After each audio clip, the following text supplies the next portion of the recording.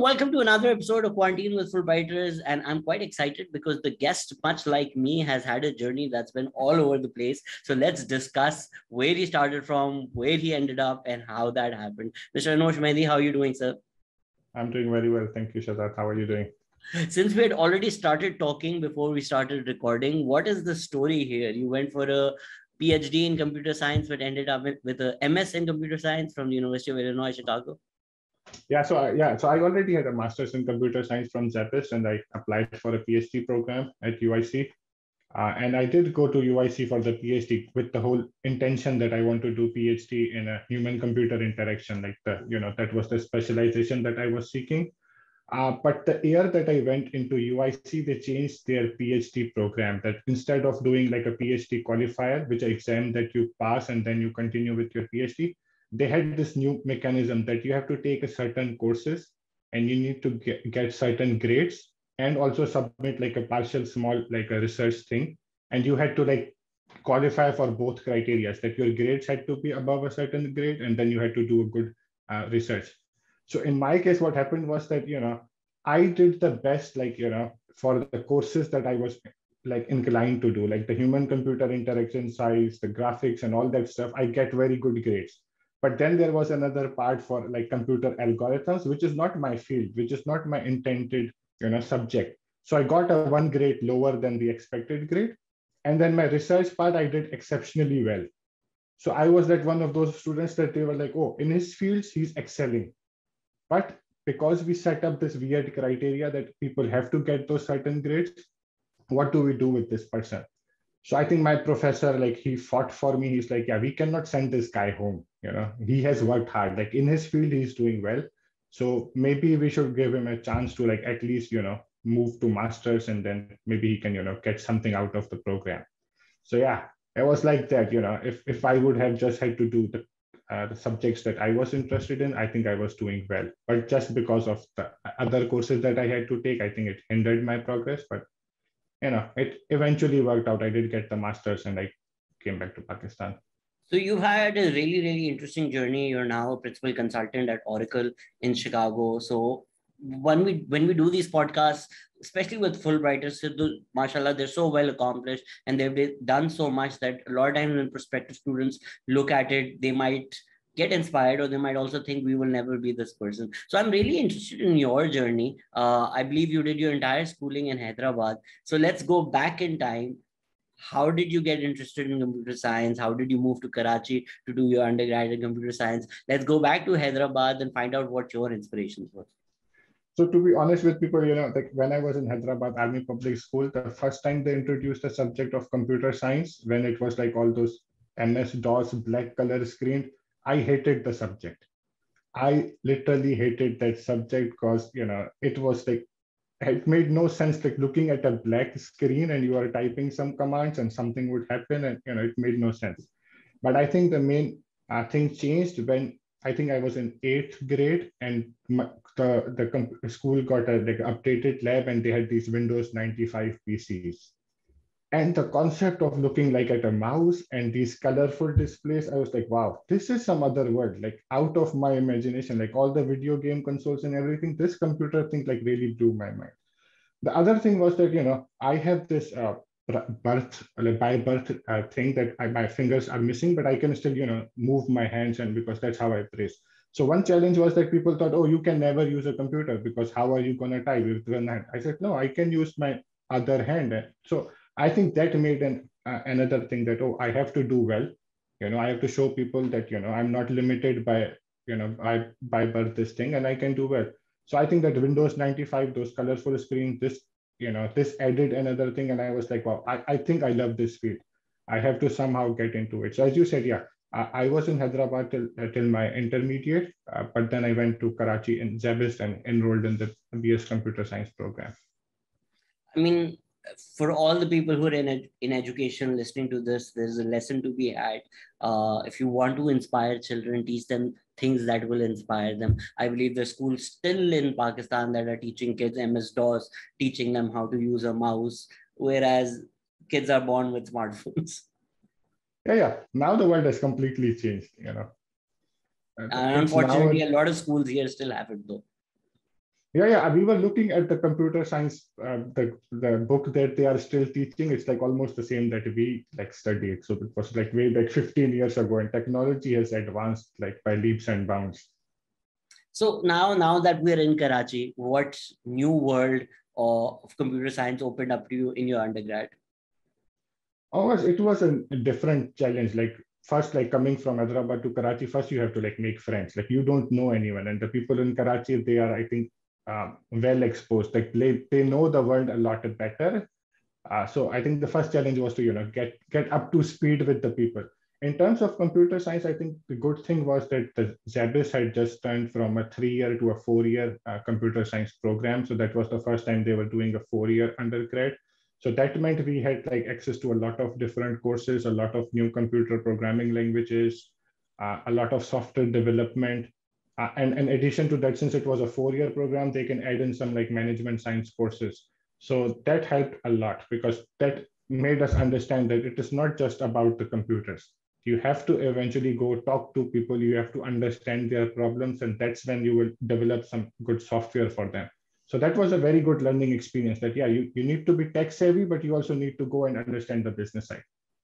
So now that uh, computer science is the new in thing and that's what everybody's talking about. There are a lot of people who are shifting to computer science or who are getting degrees in computer science. Now that you have some distance from that undergrad uh, Anosh what do you feel we're lacking? Or when we produce graduates at the undergraduate level in computer science what do you feel they're lacking which they really should have by the time they're done with their undergrad I think a lot of people don't understand that, you know, if, if you know the computer sciences side well, and if you don't know anything about business, if you have not looked into any like problem domain, uh, then then then you will go into just like any software house and you will just work on what they are working like you know or you will just go into a, any big company and they will just make you work on something small and you lose your whole focus I think during the undergrad, I think even I think we made a lot of mistakes. Like we should have done more internships. We should have, like, as a collectively, as a group, as a class, should have worked on some software, some kind of application or something.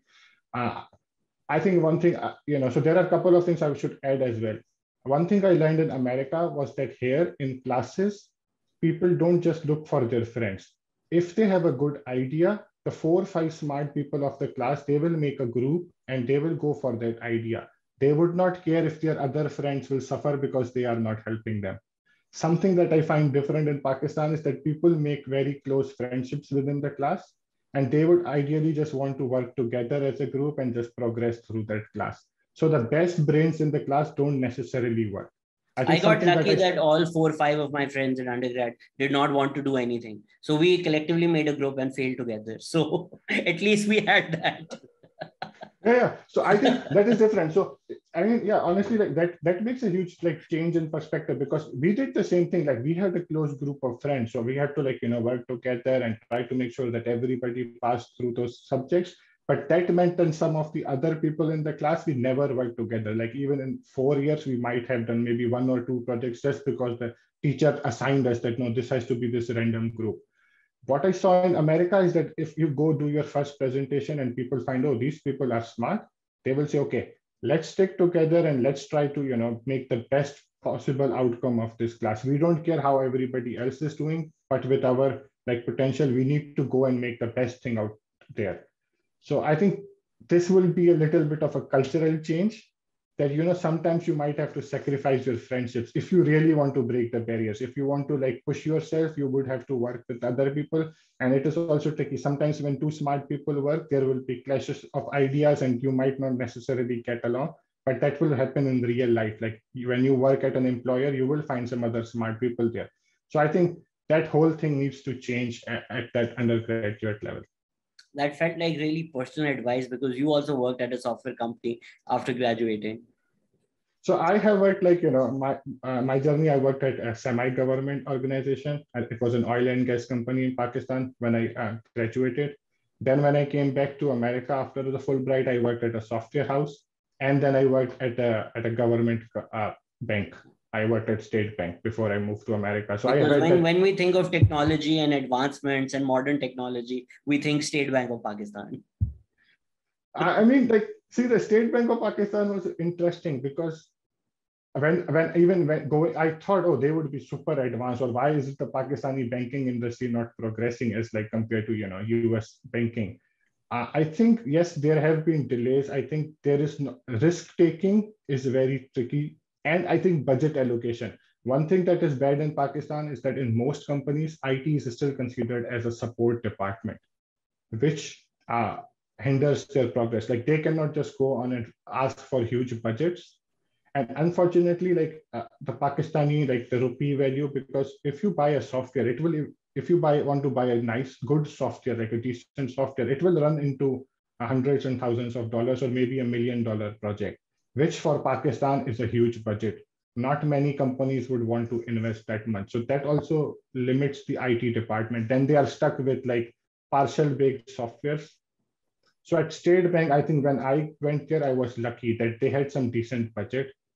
And there was like the government like the top management was involved in that project and we pushed through and we were able to like deploy that within that intended time period. So i think i was lucky that when i went there were funds there and now i think with their new uh, funding from uh, that uh, gates foundation they had this Raast implemented but yeah, there are a couple of challenges. They need huge funds. Like companies need to understand you cannot do a nice, great, or like a successful IT project with a limited budget. You need to understand that IT is a critical part of your business is it just funds or is it also personal? Because you hinted at risk taking. I've also found the banking industry in particular in pakistan to be very very risk averse. And it's very easy to pin the responsibility onto somebody else. If you go to private banks they'll pin it on state bank. If you go to state bank they'll pin it on private banks. And the ball keeps going between the two and the work never really gets done. And once you start using banking in another country, you think you're in a different world, even if things as simple as PayPal or Venmo that are part of everyday life uh, we're still uh, in the process where I need six signatures to get one of my own checks processed through my own bank so that I can pay people my own money. Yeah, that, that is like, that's a, that's a different, it's like, yeah, you're right. When you look at banking in America or any other uh, country, you are like, yeah, you, you, the customer is the, you know, treated very well. They treat you like you, you have, you, you are putting in the money. So they will treat you with respect. In Pakistan, that is a a cultural thing because banks thinks they are the powerful players and they will you know they can decline any person if they don't want to you know do business with them. They will say oh yeah we don't you don't have enough documents and we will not open an account for you or something. Because uh, it is like a problem with the banking itself the private banks because they know that there are not many other players coming in. So there is not going to be any further competition for state bank yes they, they should do a little bit more on this aspect that they need to come up with some more clearer policies and they need to go after the banks and like you know resolve these customer complaints like set up some kind of a benchmark. So it's little bit fault from state bank that they, they, they don't go hard at these banks. And for the banks because they know there is not much competition coming in so they are like complacent. They're like okay our business is still running so why should we make it further better.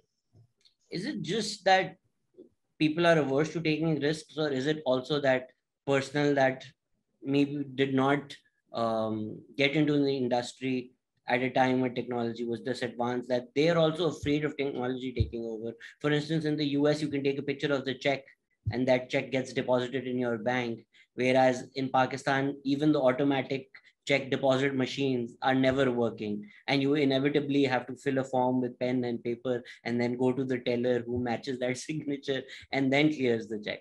So is it just that the personnel at the bank and higher ups uh, did not grow up in a world with advanced technology themselves so they're not implementing it? Or is it just they're just used to the old systems and they don't want change it's, it's like both things. So yeah, of course, they never saw these advanced machines. So they don't understand how easy and convenient it would be for the customer if they allowed them these machines. The second thing is our culture. Like people are risk averse. People are still like Pakistan, we still consider a mostly a cash-based society. So people also like to do everything in cash. And if they have to use bank, they want to make sure that everything was signed and went through because uh, nobody wants to get into any kind of fraud scenarios because then it will be very hard to recover your money. So it's like the way people are brought up, they don't understand that, you know, if you make right uh, take some risks like you should advance your technology of course there will be few cases where it will go wrong but eventually it will pick up and you will get to uh, like at par with the other countries. So yeah people need it's risk aversion. You need to teach people you know there is some literacy issues. But yeah with banking yeah th- there is a lot that needs to be done. Do you see a technology revolution in banking because there's so many apps that are now emerging that are for the unbanked and a lot of people find them a lot more convenient to use as opposed to going to the bank. Do you feel they can actually cause a dent into the market of banks or are they too small uh, to make any difference? So like uh, see the uh, some of these apps like uh, JazzCash or EasyPaisa or like some new fintech companies coming up they will make a dent, but they will need some time to grow and mature into those, like have that trust that people will think, oh, instead of going to a conventional bank, I should just use this app because it is making my life easy. So at least, at least it is a good thing that the state bank has allowed those fintech companies to come up and start operating. Uh, but the journey will not be easy. They will need to build that trust. They will need to penetrate the market. And again, in Pakistan, like if you are either only restricted to urban cities, uh, then you have a limited audience. But the majority of the uh, the cash flow is outside of the cities in the rural population. So you will need to look at some examples from our neighboring country where they really focused on their rural uh, population, and they like because thing is a software developer doesn't want to go to the rural city to understand. Like a people living in a big city, they will rarely make that effort to go and travel to a small city and understand what the problem is. You know, so that is somebody will need to actually go on the ground and understand and then come up with an app. So it will take some time. No, you're absolutely correct. But I guess once the tech exists, uh, it, it'll work just as well for somebody sitting in Sargodha as it does for somebody sitting in Karachi. You've mentioned India, uh, BharatPe is worth billions of dollars at this point, but they're also, I believe, now applying for a banking license. So maybe the eventual goal is to get all these customers on board on the app and then become a bank.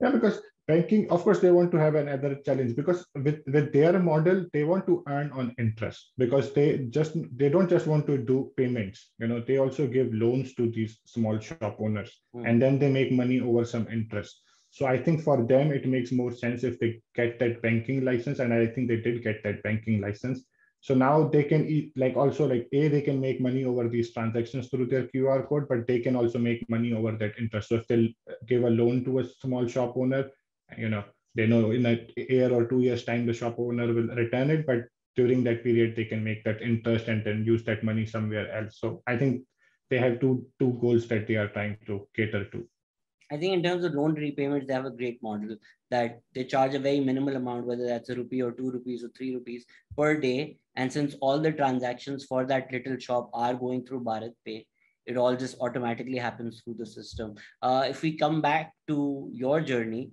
uh, you did a master's in computer science from Pakistan, and then you ended up, as fate brought you, you did an MS in computer science. How would you compare the two? On the face of it, it seems like these are just two masters in computer science. But what would you say the American MS in computer science gave you that a master's in computer science from Pakistan was not able to? So they, they were completely different programs. So the masters I did from SZABIST was more research based thing. So we were like uh, writing research papers and we were learning how to do research, to write research critiques and a thesis. So it was more uh, research oriented. Like we were not really doing hands-on programming, at least for the uh, software engineering one that I did. But it gave us an idea of how to look for research papers, how to write a research paper, and you know it was more in that sense. The American was was completely different because it is like very hands-on experience uh, they will give you individual projects. Many professors would want that you will do three or four individual projects in a class because they want to test how good you are. And then maybe a final project would be with a group just to see you can work with other people. So it was a lot of computer programming that I don't think I had done even in my like professional life at that oil and gas company because you know we had a different kind of a job. So it really challenged me that I had to really go. It was kind of like doing an, another undergrad. It was that tricky, at least in my experience. And uh, uh, again, it was like uh, the technology is completely different. So I did a human computer science interaction. So the first class I took, there was this visualization lab, and it is like a almost 12 feet wall, which is a touch-based interface. I've never seen something like that in my life. And they're like, yeah, you have to write a program that needs to work on that 12 feet wall, and it has to be touch-based, and it, you know, go and design, and it should be uh, such a design that person sitting at the end of the hall should also be able to understand. And I was like, wow. So the technology aspect was completely different. Uh, we did the same game development there and the idea of how to utilize a 7.1 sound system with the whole uh, big screen and you know how to design for that was completely different. Like I think I don't think even in Pakistan, even now, like seven, eight years down the line, I don't think any Pakistani university would have that kind of a, uh, like a lab. I, I doubted anybody would have such a, a touch instant, like such kind of a display screen working in Pakistan. Do you so, feel like it's a cultural thing or was it program specific? Because I also feel like during my master's, when I went for Fulbright, you were treated more so as an equal. Even when you're talking to professors, they talk to you like they're talking to an equal or somebody who will be in the same field uh, rather than that strict distinction or notions of respect that exist in pakistan i haven't done a master's in pakistan so i cannot say for sure if there is any different uh, but the fact that they threw you in the deep end do you feel like that was specific to your program or is this something cultural that we also need to adopt where we treat adult students as adults as opposed to just uh, the same as undergrad students are treated? Yeah, so I think it varies from program to program, but I think in general, in, in American education, they, they would treat you as an adult and they would challenge you that, yeah, if you have come for a master's degree, we expect that you know something already. You have some, you have learned already something in the undergrad program. So we are not going to teach you those basics again. There are libraries and lots of content in the internet. If you want to brush up on those subjects, you can do that. So yeah, they treat you uh, at a more uh, higher level you know they won't spoon feed a lot of things. They will just give you some basic concepts and then they will throw you uh, into that you know now learn on your own. Uh, also as you said in terms of respect yeah they will treat you as an adult. They will give you that equal vote. So if there is some discussion going on the class and if anybody comes up with a nice idea professor will appreciate that. And let's say if he was wrong uh, he would accept it on on on the same point. Like he would not hesitate to say oh yeah my idea was wrong and now i understand what problem that could create. So yes you have a very good point and they will be really happy that somebody you know uh, figured something nice out of it. In pakistan i think we still have that uh, a level of a difference. Like you know the teacher has to be right and you know you cannot just directly go and question them or argue with them. Uh, I think it again not you're not going to generalize, but yeah, generally some professors would not be happy if you just you know in in front of 30 35 students you just say oh sorry your idea is wrong you know they might be happy if you go to their room and then say sir you know I like your idea but I think you can tweak it a little bit then they might be open to that critique but not maybe in front of the other 30 students but in America in general, yeah, teachers are happy to listen to your feedback because they also want to learn. They, and they know the younger generation coming might come up with some some nicer, better idea. So you know they are open to learn that's an absolute great quality. If a professor enters the class with a willingness to learn, some things I realize are just cultural and they're beyond whether which one's right or wrong. For instance, even 50, 60 year old professors in America would expect you to call them by their first name. And even as a Pakistani student, when I went, I was a bit uncomfortable initially calling a 50 year old professor by their first name. Uh, something that would not fly for most people in Pakistan. Even other students might feel uh, awkward if you start calling an old professor by their first name. But that's something cultural. I don't think there's a wrong or right over there. Yeah, of course. That that was a yeah, tricky thing, as you said. Calling a professor, he says like, yeah, don't call me dear sir, or don't write in the email. Just write Andrew, and I want to do this project. I'm like, wow, this it doesn't ring well with me. But and it happens with me right even now in the organization I'm working at Oracle calling like a you know as you said 50 year old boss by their first name i still feel like uncomfortable. But as you said maybe it is their culture. They, they don't want to go into that dear sir or, or dear manager kind of a thing I, some things are just cultural. Even when I'm being heavily critical of somebody who's old on Twitter or on social media, I tend to add Mr. I tend to add Sahab, uh, even though I'm criticizing them, but uh, just certain notions of respect that come with age. What were some of the key takeaways, or what did you learn uh, specifically during your time at University of Illinois Chicago that you were able to bring back to Pakistan? As I said, so what I learned is that you know there is uh, so since I worked in that human computer interaction or uh, human interface design, a lot of design elements, you know, how, how do you make a good web page? Like how do you make it easy for people? You know, so when we're doing what, this project at State Bank, where we had to design uh, something for the banks to use and for, you know, uh, there were a lot of ideas that we had to put in through because one thing was that uh, like generally some if you look at state websites they are full with information there are so many like links and so i'm shocked that that was even a discussion the fact that our government websites or even banking websites even think about user experience or ux is coming as a shock to me. Yeah so because at first it was like yeah it should look similar but the good thing i think is that our boss like my immediate boss was you know they had this idea that yeah i don't want to make it look like any other government organization you know even though it will be used mostly by the banks but we still want to make it easier for them. And the software vendor that we had good thing is that they were on board with it. They were willing to do this whole ux ui design cycle because it costs money. If you make one website it is not good. Somebody will critique. The color is not right the buttons are not right somebody has to go back work on it and they have to present it again. So that cycle continues. So of course it costs them money and time as well. But the good thing is they were willing to do it because they were like yeah we wanted to make it a very you know user like easy to use website. So that helped because that that idea of how to work on these user interfaces helped uh, other thing, of course, from the programming and the business perspective, you need to think about all the different scenarios. As I said here, when they push it, uh, when they would give us a project, there will be an open critique that anybody can ask you a question. Oh, did you think about this scenario? What happens if this happens? So then when you are sitting in those meetings, you are like, yeah, but let's say if I'm working on a website and my mobile, phone, like I don't get that one-time password, then the whole thing is stuck. So you need to have it on the email as well, you know, as a backup, because you cannot just say, oh, the, the cell phone will work all the time, you know. So you tell them that no, even if it adds cost to your overall project, you have to have those, you know, uh, different paths for that. Even a simple thing as uh, one-time password thing. So you, you tell them that no, you have to think through different scenarios. You cannot always look at the perfect scenario and say, yeah, this is it.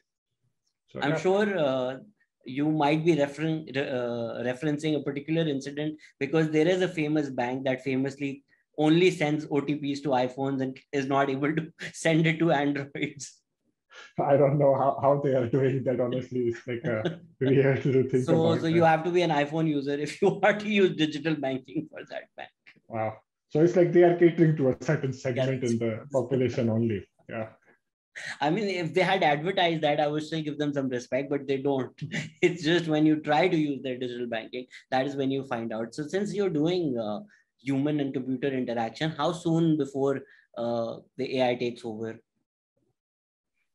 Uh, AI honestly is not my you know field because it's like a very buzzword thrown around everywhere. But I think a lot of industries are not at that point where they would leave it everything to the computer. A lot of things would still have to be uh, manually with some some intelligence to it like you know but like i so i work with in oracle i work with the utility industry. Mm-hmm. something that i did in pakistan as well for a, a, few years. So i work in the utility industry uh, uh, energy and water sector. So i think at right now the main focus is moving companies from their uh, on-premise platforms to cloud-based uh, based platform I think that is the main thing that is going on in the current few years. Maybe the next step would be where you plug in AI into those uh, those markets.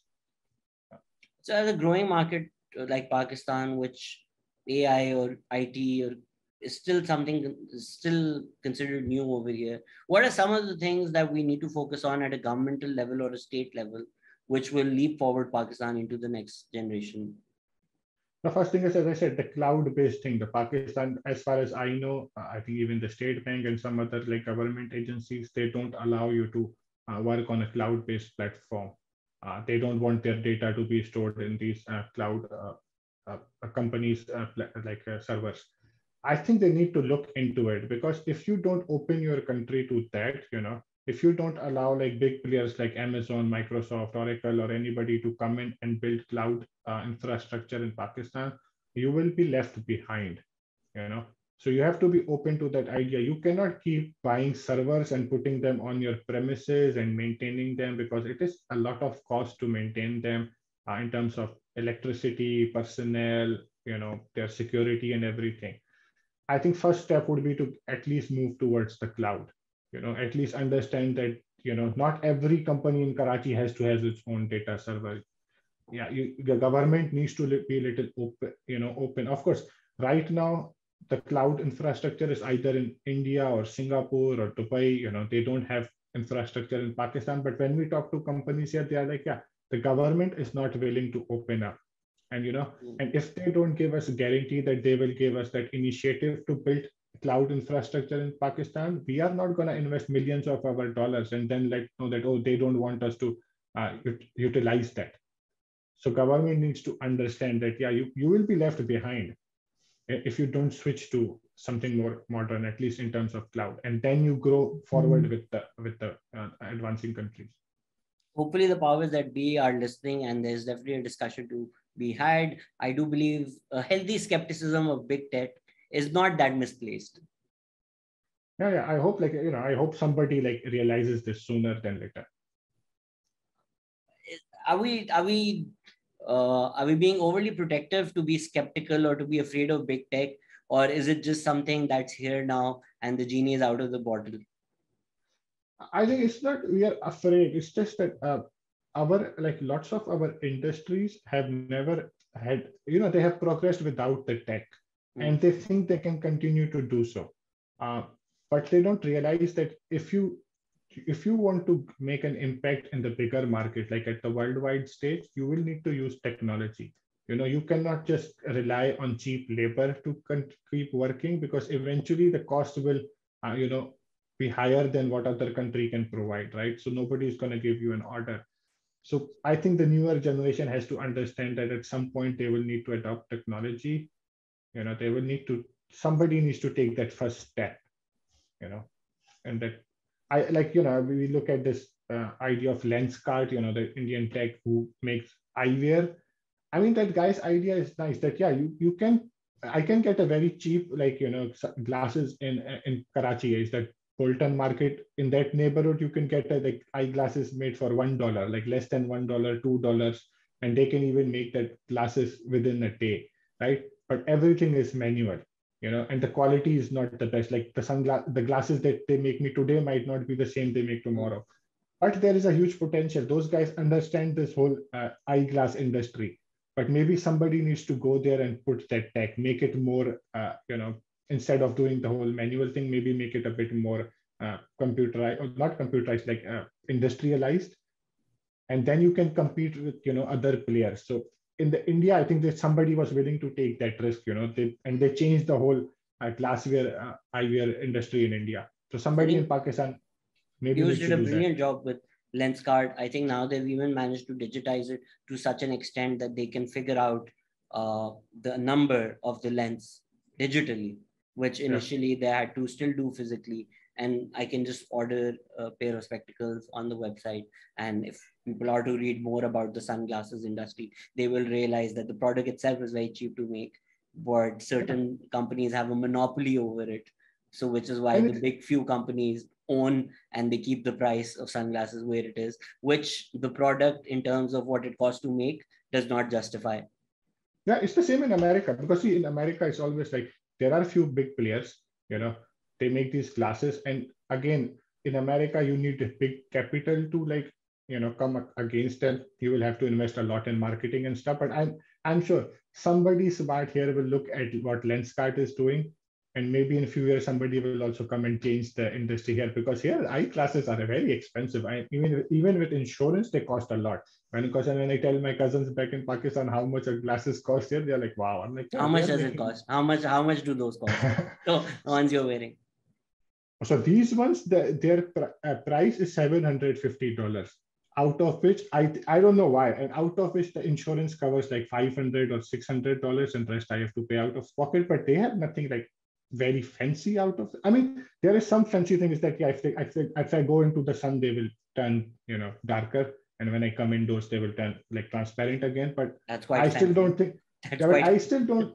but I still don't think that cost like seven hundred dollars is a huge money, even for like a person earning. Uh, like even let's say insurance is taking care of 500, 600, but I still think there is a huge profit that they are making here. And again, they know that nobody is going to come and challenge them Absolutely. I think the American insurance industry is a much bigger topic and a podcast of its own. But thank you so much for coming on today. For all the prospective uh, students who are thinking of maybe applying for a Fulbright in computer science or looking for a career in computer science, what is some advice that you will give to them? What should they look at? What field do you feel like there's a lot of scope in, as we say in Pakistan?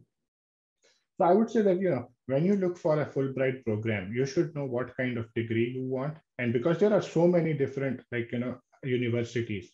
And not all of their programs are going to be good. Like like uic they have a very good human computer interaction lab because they invested in it. Then there will be some uh, universities that might have a very good ai or natural language processing department. Some might have a very good uh, uh, networking department or something. So you first need to realize what kind of a degree you want to do like what kind of a field you want to specialize in. Look for those universities that where they have a specialization or lots of professors that who teach in those departments. Uh, in terms of like few fields, software engineering is, is still very hot. All the big companies, they still need good software developers. So if you are a pure programmer, if you are very good at writing code and you want to make uh, like improve yourself, get better at it, so pure software engineering degree is always going to be in demand. If you are going for buzzwords, then yeah, AI, natural language processing, you know, you can go into those fields computing gaming video games very diff- difficult thing to do. It looks very easy. It is i think one of the most difficult classes i have taken. Computer like video games are like think making movies but making movies playable. That's how hard a video uh, you know game video gaming is. So if you are really into that there are some programs that will teach you that. So and and gaming industry is going to grow. It will continue to grow so that is another field. I don't think there are many uh, Pakistani software houses that excel in uh, gaming. Mm. Uh, so yeah, computer security. Again, you know, there are lots of like these threats, ransomware, and stuff. So if you are into computer security, then there are some courses courses that specialize in that. That's great advice to all the gamers out there. Thank you so much, sir, for your time. And thank you for listening. We'll be back again next week with another Fulbrighter on quarantine with Fulbrighters. Thank you for listening. Take care. Bye.